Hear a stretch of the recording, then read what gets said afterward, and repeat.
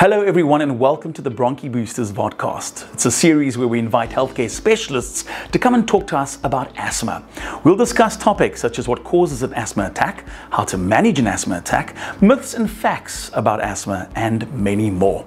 Asthma is often an underdiagnosed and undertreated public health problem. Learn how to manage your and your children's asthma. On today's show, we chat to Dr. Shaunagh Emanuel. Doctor, thank you so much for your time. Thank you. Allergies and asthma, the link between the two. Let's start there. Well, allergies and asthma are um, conditions which are part of an umbrella set of conditions, uh, which we sort of term loosely as atopy. Okay. So, for patients of atopic, they may have something like eczema, food allergies, allergic rhinitis, Sure. allergic asthma, and all of those allergic conditions fall under that sort of um, term. And there are genetic and environmental factors that play a role in. Uh, in causing patients to express those uh, conditions over, peri- over the period of their lives. And so asthma is linked to, as- uh, to, to, to allergic rhinitis Sure. in that um, it forms part of this atopic set of conditions. Yes. But the, the detail is that um, they're both conditions of inflammation. Okay.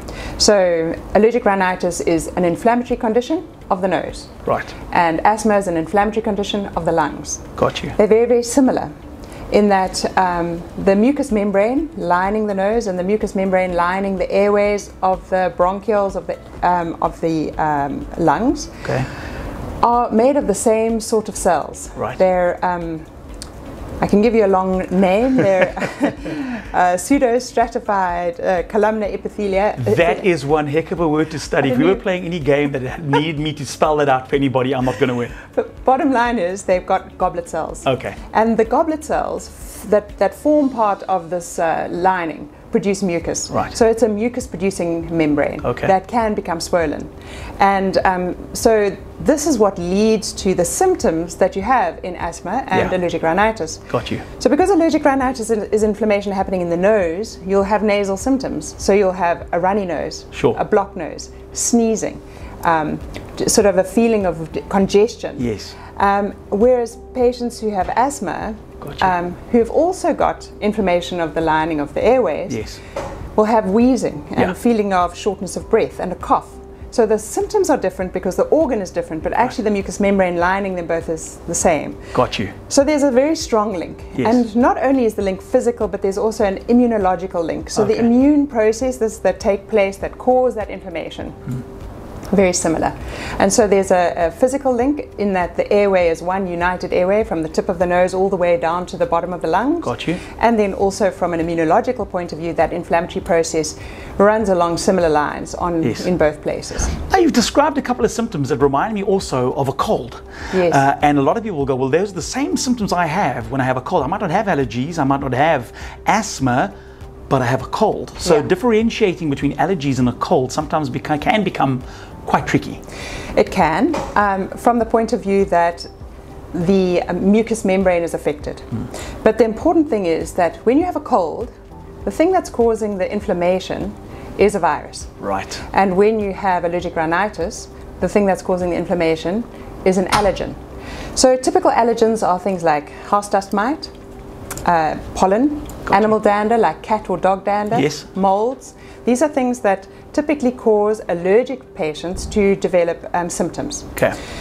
So the pattern that you will have when you've got allergic rhinitis is very different to the pattern that is produced by a viral infection. Gotcha. The viral infection it tends to be something that lasts between three to ten days. It's quite um, intense and it clears up quite quickly. Yes. Whereas there's a pattern that forms over years Yes. i- in a patient who's allergic, and very often they can recognize that their, their allergies are now uh, arriving because it's the spring season, or if they're allergic to house dust mite, it might be because it's winter, they, Yeah. they, they're now suffering. And so they can tell the difference because of a pattern. Got the you. other part of it that's really important is that there's a lot of itching with Yes. allergic rhinitis. Yes. Um, so they get um, itchy ears, or, you know, the, the ear canal becomes itchy, the back of the throat becomes scratchy and itchy, the eyes become red and runny and itchy.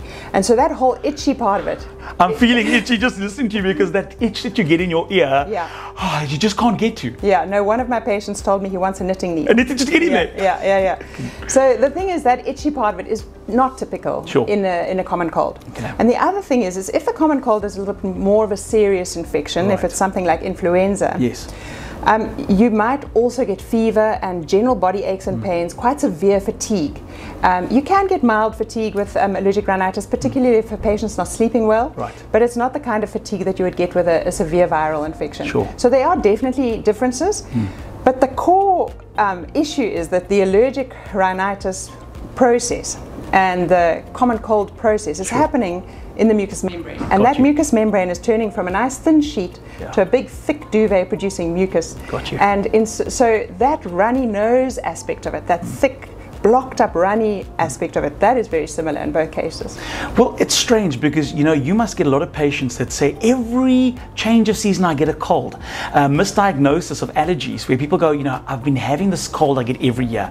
It's normal. Mm. I always get a cold, and they'll tell you what which time of the year. Yeah. Do you often look and go, no, you have allergies? Yeah, no, that's a very common that's a very common problem. But there's another problem that's even more uh, of an issue. Is that Sure.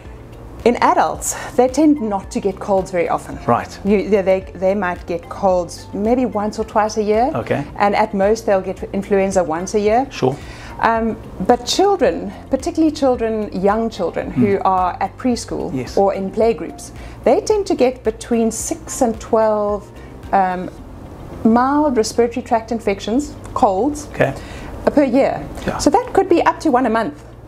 Now that can be more difficult to tease out Sure. because you know they're sitting with two columns of mucus Yeah. hanging out of their nose Yes. um, for pretty much most of the year, and now Yeah. you've got to try and work out is this allergy or is this getting a cold over and over again?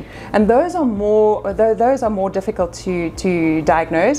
But you know there's there's a strong um, genetic component, so Yes. often you'll find that there'll be you know mum has asthma, Yes. um, and the little baby sister has eczema, and this gives you a little bit of a shove in the direction of thinking, okay, maybe allergic. Sure. And then of course you can do skin prick tests and and and see whether or not the child has been sensitized to common aero allergens. Because that would that would be the next question: is how as a parent do you deal with it? Do you go and say, well, listen, this is normal for my child to be ill Mm. 12 times or have a runny nose the whole year? It's what to expect. Or do you go, well, listen, as a parent, I should be, you know, there, there is a way to try and get to the root of what's causing that inflammation. Yeah. So I think it's important to to really look at the pattern. Okay. So if you're having uh, if your child has a common cold Yeah. for three days, just a, a, a clear runny nose, Sure. Feels a bit off, Yeah. not eating well. Yeah. Three days later, right as rain. Okay. That's a common cold. Okay. A child with allergy will not get better so quickly. Right. They will often, and, and the viruses are triggers Yes. for allergic rhinitis. So those children who have allergic rhinitis, who are allergic to aero allergens, will Hmm. also respond much more severely to a viral infection. And they Okay. tend to be sick for sort of three weeks. Okay. So their gap between their one infection and the next, Hmm. maybe three or four days before they start again. And so and so that helps a lot. Yes. And then also, you know, other factors like do they also wheeze when they get a cough? Sure. You know, is there family history? Yeah. Um, you know, they just there there are a lot of questions that you can ask to get a, a, a more general picture to, to get a sense of whether this is an atopic type of individual. Sure. Or if this is just a well child that just gets a cold quite often because they're in an environment where they're exposed to a lot of viruses. Absolutely. Now I want to talk a little bit about asthma, the mm-hmm. symptoms of asthma, and when, as a parent, you kind of realize, listen, I need to take my child for some sort of assessment, Yeah. but I have a feeling that they uh, suffer with asthma. So that's a really good question because a lot of young children wheeze when Yes. they get a cold. Yes. and they don't necessarily have asthma. They have got small airways. Right. And if you uh, make that airway thick on the inside by infecting it with a virus, and then mucus is produced on top of that thick airway, you're going to end up with a musical instrument. Got you. So y- that child will wheeze regardless. So now you have to ask yourself is this just a well child that wheezes when it gets a cold, Mm. or is this wheezy child going to develop asthma, or do they have asthma already? Yes. And that's a that's a tough uh, diagnosis to make, and Sure. it does involve um, a careful skill in, in, in, in managing the patient because you don't want to overtreat children who don't have asthma Yes. and you don't want to miss young asthmatics. And so I think it's really important to get um, to, to get advice uh, about that and see a, a a doctor or pediatrician so that you can really get to the bottom of that. And I think as a child or as a parent of a child possibly with asthma, there's a lot of stigma still attached to asthma. And it's one that we, we're trying to dispel and trying to break, you know, in terms of the other children that don't understand what asthma is. Uh, if you're in a class where you've got somebody who does have asthma, um, you know, coming to terms with, and as a teacher possibly, you and I have had this conversation before Yeah. on a various, uh, on another platform, about dealing with, with a child in your class, a child in your family, you yourself as an asthma um, sufferer, how you kind of, uh, you know, break that stigma that's attached. Because unfortunately, there is still stigma attached, and there is stigma attached to asthma. Yeah, I think the most important aspect of that is education. Sure. And the most important person to educate is the, actually the patient. Yes. And from a very young age, you can educate patients very effectively. Yeah. Um, children can take control of their asthma from preschool age. Um, they, they need to be empowered to manage their condition and they need to understand that as long as their condition is managed, Yes. they have normal lungs. Yeah. These are lungs that are just hyper responsive. They're not damaged. They, they only become damaged in the long term if they're not well treated. But Right. if that inflammatory process is managed on a daily basis, they can do exactly what anybody else can do and they can stay managed most of the time. Yes. if they get a viral infection, they might have a cough for a little bit longer. Right. But if their condition remains controlled, they can live normal lives, and there's not a single thing that they need to um, not do. Do. Sure. And I think that's the first step is Got to you. empower the individual. Yes. Then society at large needs a lot of education, Sure. and that needs to be done through various uh, formats. But within the school system, I think a lot can be done. I think um, I think that uh, kids at school need a lot of education about asthma. People need to talk about it, Sure. so that um, parents and um, children are, are empowered to to Yeah. feel confident about managing an asthma attack, about realizing that children with asthma don't have an acute asthma attack all the time. Sure. And the other thing is teachers need to understand how to manage a child if they're acute and also how to empower children to participate in absolutely everything. Yes. You know, often at school, um, I, I- I'll speak to children and find that they're not swimming in the summer Yeah. season. Yeah. And that's because the teacher's afraid of asthma and hasn't allowed that child to participate Yeah. on account of the fact that they don't really want them having an asthma attack on their watch.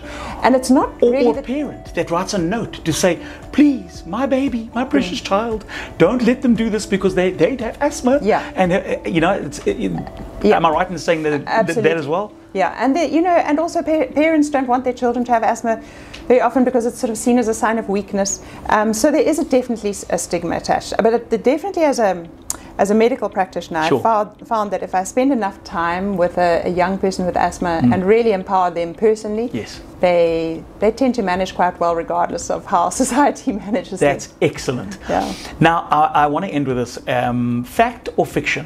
Yeah. Doctor, I have grown out of asthma. I'm now 25 and Yeah. I don't have asthma anymore. I am feeling phenomenal. Um, I stopped using my pump seven years ago. I've grown out of it. Okay, well, that is a, a very common Yes. uh, perception. yes. But asthma is a combination of um, genetic and environmental factors, and Right. the genetic predisposition to develop asthma still remains with that patient, even though they're going through a good patch. Got you. So it tends to undulate Yes. over a lifetime. Yes. Um, you know, that patient might have had eczema and milk allergy in Yes. the first year of life, develop um, allergic rhinitis, Yeah. and then during their junior school years, develop quite severe asthma. Suddenly they find in puberty their asthma is completely and utterly better Yeah. because that change of hormonal milieu in the body's physiology actually changed the inflammatory process in the lungs and their asthma settled. But their asthma hasn't disappeared, it's just quiescent, it's just gone to sleep. Yes. But it's still there. And you need to tell this 25 year old to never go anywhere without their reliever pump. Got you. Their reliever pump must stay with them, especially if they have a very active lifestyle, if they're traveling, because you can get caught out unexpectedly Sure. just because you've had a, for instance, a drink with a lot of preservatives in it. Um, Give them your example. yeah. The one that you use. I love it because it's my favorite example because it's so, So- true and it, it, it's it's because you don't expect it to happen then. Yeah, so you're 25 years old. Yeah. Um, you've finished your degree. Sure. You've made a little bit of money Okay. on your on your uh, uh, Yeah. summer holiday, and now you're traveling. Yes. You find yourself in Rome, three o'clock in the morning in a taxi after coming back from a club, and you don't, you're not at home. You don't speak the language. Yes. You don't know where the hospitals are. Yeah. You had a drink or two at Sure. that bar that you didn't know really No, what really. it was. Sure. Now you're getting tight, and you really are getting very tight, and you're recognizing that you're actually needing something. Yes. And uh, you also, on top of that, become very anxious. Yes. And you're out of your comfort zone and you don't know how to get help. If you've got your asthma pump with you, that will give you four hours to get to get to where you need to get. Got you. And to communicate what you need to communicate. But if you're not carrying that asthma pump, you can end up in real trouble. Absolutely, I think that's such a great example. Yeah. and I think that it's a, I mean, it's a conversation that that needs to be explored in further detail uh, and in certainly in a lot uh, a greater depth as well. Because I think that just touching on the surface of what is asthma, understanding asthma, understanding um, that it's something that might never go away, possibly, and something that you've always got to be aware of at the back of your mind, and breaking down those social stigmas attached to Absolutely. to asthma is an ongoing conversation. We thank you for your time. We thank you for your insightful uh, conversation with many parents and teachers and people that are may, maybe only just discovering now for, for, for the first time in their lives that they indeed have been suffering with uh, allergies or asthma-like symptoms, or asthma. It's not asthma-like symptoms, it's asthma. Yeah. Um, for, for a large portion of their lives. It's been very uh, um, great talking to you. I want to use the word lekker, which is a nice South African word, but uh, very insightful chat. Thanks for your time today. Thank you very much for having me. Nice. Thanks so much for watching today's episode. Pop your questions in the comments section below. Also, remember to visit bronkiboosters.com to view all the videos, learn more about asthma, play the game, or download the comic book.